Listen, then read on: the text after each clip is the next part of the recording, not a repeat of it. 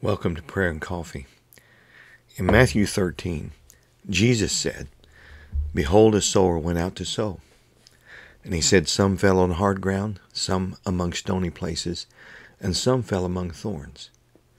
But others fell on good ground and yielded a crop, some a hundredfold, some sixty, some thirty. He who has ears to hear, let him hear. In Revelation 2 and 3, Jesus says repeatedly, He that hath an ear has an ear to hear. Let him hear what the Spirit is saying to the churches. Prayer was dying out among many in our churches, but there has been a fresh wind blowing from Holy Spirit. A fresh wind that has revived hearts, resurrected dead dreams. A fresh wind of the Spirit that has stirred up gifts and raised up a powerful praying army that will usher in healings and signs and wonders through the church and into our communities once again.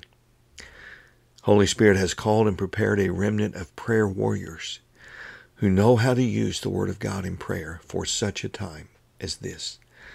A time when God is releasing vision, faith, and a greater measure of grace for turning the tide of complacency in His people.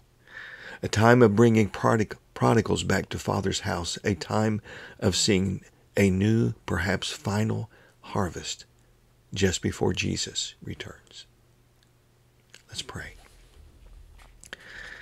Father, we honor you today, and we pray your will be done on earth as it is in heaven.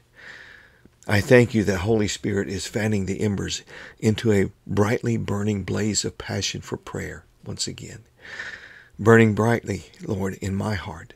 And let the flames burn brightly in the hearts of the body of Christ at Community Haven.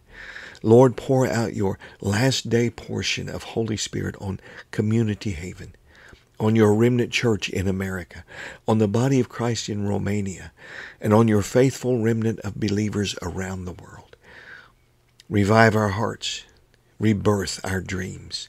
Bring us into the purpose you planned for your church for this generation. Father, let your word be confirmed with healings and signs and wonders once again. In Jesus' name, amen.